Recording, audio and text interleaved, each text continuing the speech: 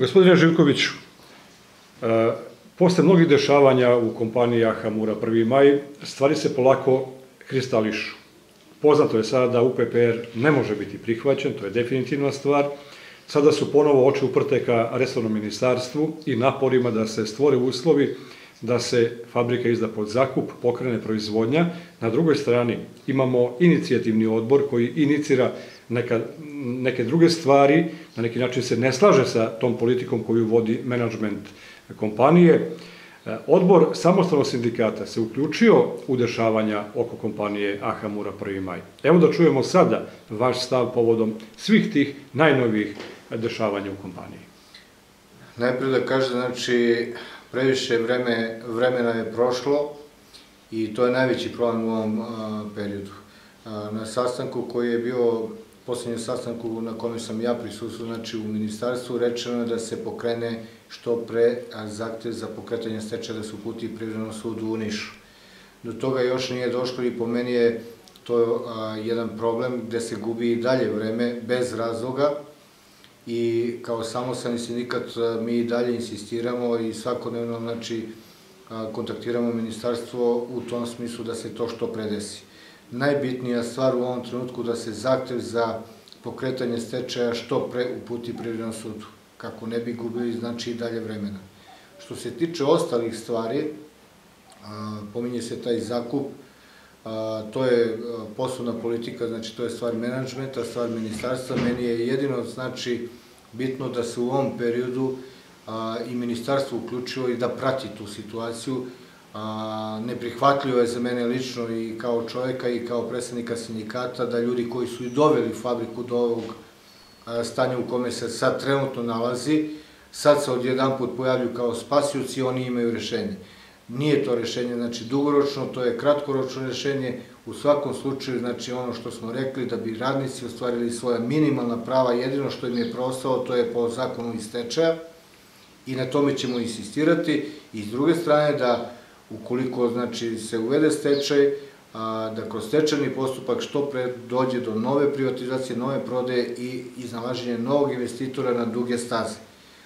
Ono što se tiče inicijativnog odbora, znači inicijativni odbor je u saradnji sa samostalnim sindikatom znači bio angažovan po pitanju obaranja, odnosno izmene UPPR-a, koji je veoma bitan za, za sve zaposlene, jer je neprihvatio da radnik sam sebi, znači dajući saglasnost UPPR, dao otkaz i na taj način izgubiti prava iz stečaja. A, to smo zajednički u koordinaciji uradili i, kažem, do tog cilja smo i došli. Znači, UPPR nije usvojen, ne samo zbog naših primetbi, nego su tu i ostali, znači, poverice stavili primetbe i do usvajanja UPPR-a nije došlo. Sledeći korak je, znači, to je i konstantno ministarstvo, znači da se što pre uputi zahtev a, za pokretanje stečaja. S druge strane, odluka, znači, ovih dana što se dešava, znači, odluka o organizovanju protesta, to je odluka inicijativnog odbora, to nije odluka samostalnog sindikata i po tom pitanju, znači, ne želim da se izjašnjavam, to je njihova odluka, ne želim da se izjašnjavam. Želim apsolutno, znači, ono što je interes radnika i sve što je u skladu sa zakonom, znači, mi ćemo podržati i mi ćemo nezavisno od inicijativnog odbora, znači, i dalje insistirati da sva prava iz stečanog postupka po stečanom zakonu, znači radnici ostvari. Ono što se zahteva kroz pojedine zahteve, znači apsolutno mi to podržavamo.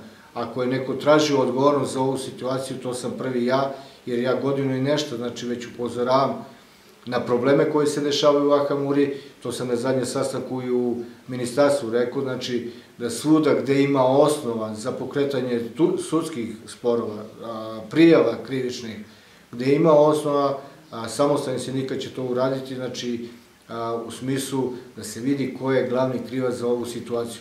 Znači, očigledno za poslovanje fabrike je pravi glavni krivac direktor fabrike, on je odgovorno lice u fabrici i normalno sa svojim saradnicima.